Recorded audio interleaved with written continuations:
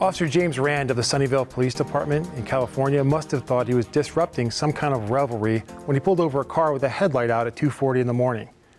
Three men were crammed in the front seat. Three older gentlemen were riding in the rear. Only one person had a driver's license on him, and to compound the situation, it wasn't even the driver. The registered owner of the car was not among those in the vehicle. So six men, one car, one headlight, 2:40 in the morning, and one driver's license with no owners present. Though Joe Gonzalez was the driver, Joe Alcala stepped forward and stated that the car belonged to his brother.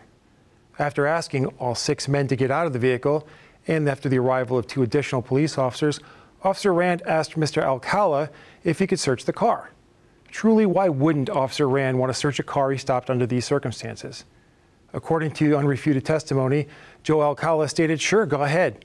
At various points during the encounter, Mr. Alcala assisted Officer Rand in the search of the vehicle, opening the trunk with his keys and so forth.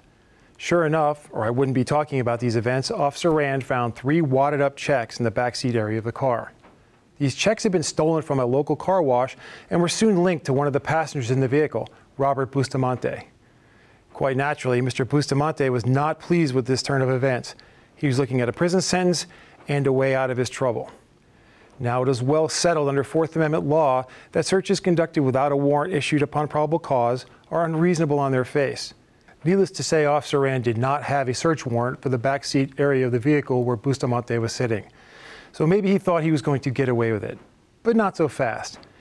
It is equally well settled that one of the specifically established exceptions to the warrant and probable cause requirements of the Fourth Amendment is a search that is conducted by consent. That's what happened here a verbal expression approving a consensual search free of coercion. Pretty simple until it wasn't. Here's the thing Mr. Bustamonte was able to get a court of appeals to think that being free of government coercion wasn't enough to obtain a valid waiver of a constitutional protection.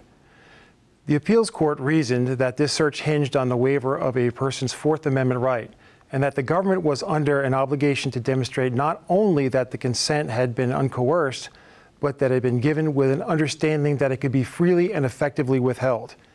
In other words, consent could not be found simply if it was free of coercion. If this sounds like a Miranda warning for the Fourth Amendment, you'd be onto something. Mr. Bustamonte must have been delighted. Not only was he going to beat the rap, his name was on the verge of becoming a household designation on par with Ernesto Miranda, as various police encounters depicted in movies and television shows would have to provide Bustamonte warnings before obtaining a person's consent to search. And then the dream died. Robert Bustamonte was returned to the less famous. My guess is that many of you never heard of him. So what happened? Justice Potter Stewart of the Supreme Court took an interest in the unusual fact pattern and attempted groundbreaking decision of the appellate court. There would be no Miranda type warnings for the Fourth Amendment, and here's why. In several decisions, the Supreme Court had previously held that voluntary consent is a perfectly justifiable grounds for excusing the government from procuring a search warrant. This seemed like a pretty good rule. The issue here is what is voluntary consent? Is, it, is one free of government coercion, as been presumed by most people before this case? Or does voluntary mean that the person granting consent has to be fully informed of their ability to refuse.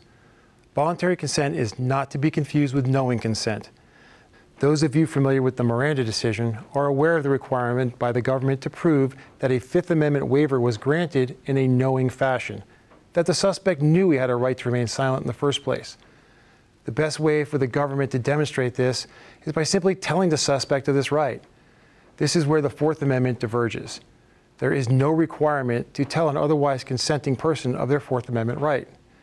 If they are granting their consent without coercion, that is, voluntarily, of their own free will, the law will inquire no further. A valid consent has been granted. This takes us back to Mr. Bustamonte and his near brush with fame.